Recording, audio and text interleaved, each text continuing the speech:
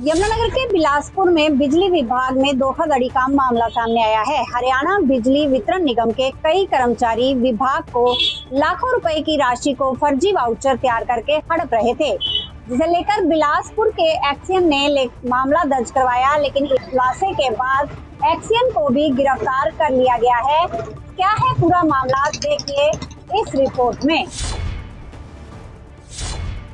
हरियाणा बिजली वितरण निगम के कई कर्मचारी विभाग की लाखों रुपए की राशि को फर्जी वाउचर तैयार करके हड़प रहे थे, जिसे लेकर बिलासपुर के एक्सीएन ने बिलासपुर और यमुनानगर थाने में 80 लाख से ज़्यादा की धोखाधड़ी का मामला दर्ज करवाया।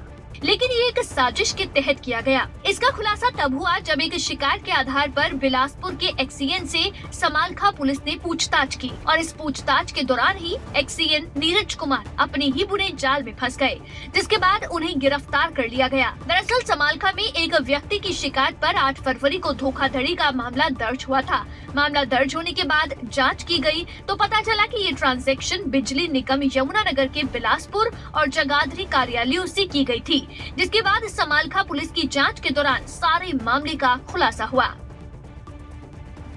निजी तौर पे तो हमने तो स्पेशल ऑडिट टीम को बुलवाया है हेड ऑफ़िस से।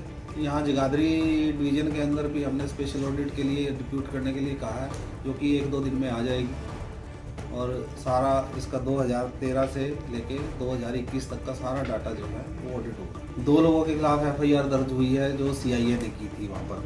मतलब जो गिरफ गिरफ़्तार किए गए हैं वहाँ तो एक जर्नल एफआईआर दर्ज है जिसके भी यहाँ पे अभी इंक्वायरी चल रही है। वहीं पुलिस धोखाधड़ी का मामला दर्ज कर जाँच में जुट गई है।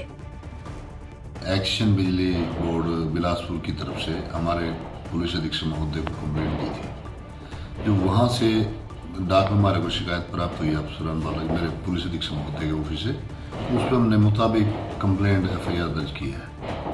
अभी जैसा भी जाँच में सामने आएगा वो के अनुसार देखते हैं। हालाँकि इस मामले में जहाँ पुलिस जाँच कर रही है, वहीं बिजली निगम की ऑडिट टीम भी इस मामले में गहनता से जाँच कर रही है। अब देखना ये होगा कि इस मामले में आगे और क्या कुछ निकलकर सामने आता है।